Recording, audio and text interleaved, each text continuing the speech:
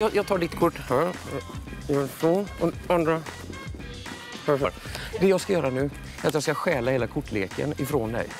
Och det gör jag med hjälp av hypnos. Sov. Nu vaknar du upp och märkte ingenting.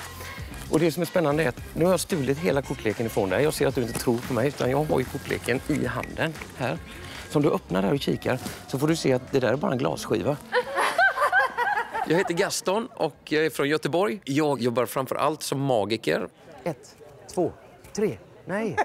Men eh, här på Talang så tänkte jag visa en talang jag har utöver trolleriet. Och det är någonting som har visat mig ha en fallenhet för.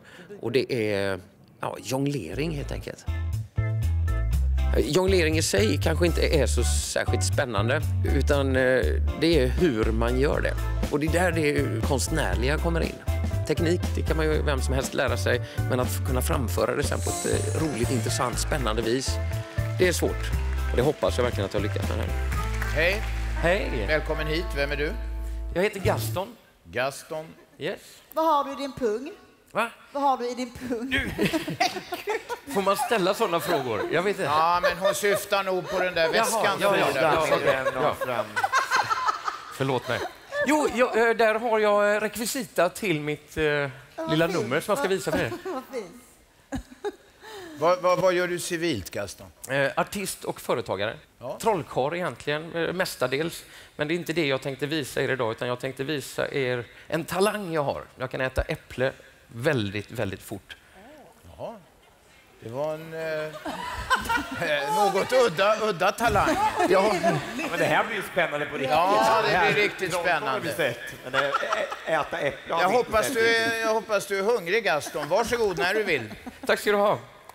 För att jag ska nu uppnå yttersta hastighet så måste jag gå igenom fem stycken steg. Och första steget är att ta bort säkerhetssprintarna.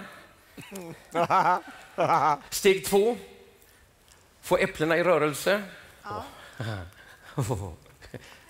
Vänta. Nej, nej. St- Steg två och ett halvt, lukta på äpplena. Steg tre,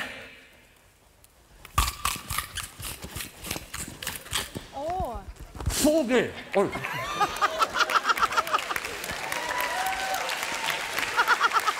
Ja, ni får ursäkta att jag läcker. Vilken fråga som läcker. Steg fyra, ta ett bett på samtliga äpplen. ja. Aj!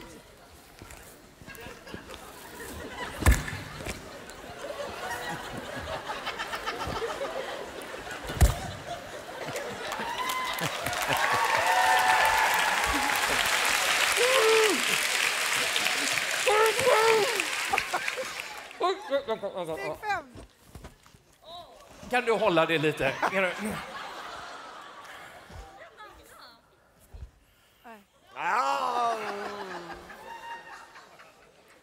Steg fem. Räkna baklänges från tre. Tre. Två. Ett. Åh, nära. Noll!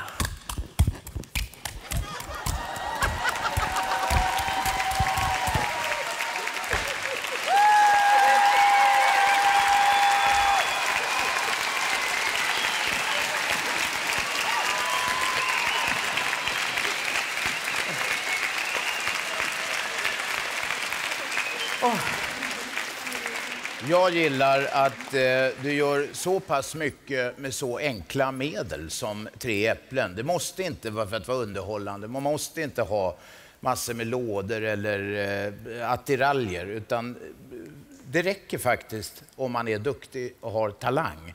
Så räcker det med tre äpplen och en hel del träning gissar jag.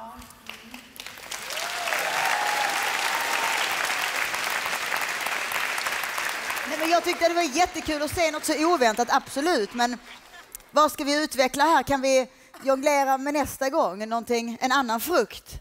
Jag övar på något helt livsfarligt här nu. Alltså, inte för er, utan för mig. Ja. Så jag tänkte vi ökar på med humor och sen eh, spänning och, och ekvilibrism. Oj! Då. Ja, det där är spännande, det får jag säga. Förstår du? Vet du vad det betyder? Ja, det är någonting med eh, erotik. Det kan det mycket väl vara, men det är inte nödvändigtvis så. Ja. Då röstar vi. Jag kan börja. För mig är det ett självklart ja.